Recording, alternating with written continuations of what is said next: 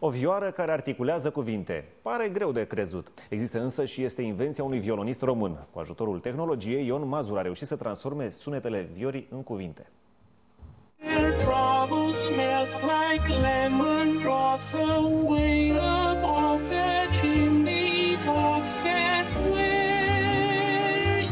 Așa sună vioara care articulează cuvinte. A fost marele vis al lui Ion Mazur, un violonist român stabilit de mai bine 8 ani în Malaezia. Cu ajutorul tehnologiei a reușit să facă vioara să vorbească. Practic, sunetul unui instrument este plasat în niște mici difuzoare care se pun sub barbă, depinde de unde, de, de, unde este cea mai bună recepție a, a, a, a vocii.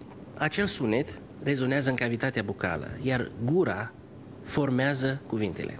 Violonistul nu s-a oprit aici. A vrut să poată cânta singur pe scenă, fără ajutorul altor muzicieni. Așa a descoperit un program care poate înlocui o filarmonică întreagă și a ajuns să cânte singur Sinfonia spaniolă de Eduardo Lalo.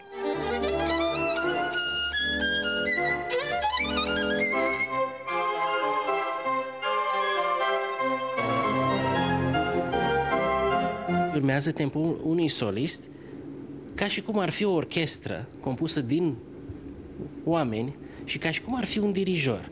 Aventura muzicală a lui Ion Mazur a început acum mai bine de 20 de ani. După ce a absolvit conservatorul din Iași și a plecat în Franța. A cântat mai multe luni la metrou sperând că cineva îl va remarca. S-a mutat apoi în Grecia și de acolo a ajuns în Malaezia. A revenit de mai multe ori în țară sperând că talentul lui va fi recunoscut și că va putea cânta pentru români. Nu s-a întâmplat așa. Ion Mazur încă mai visează să revină pe scenele din România.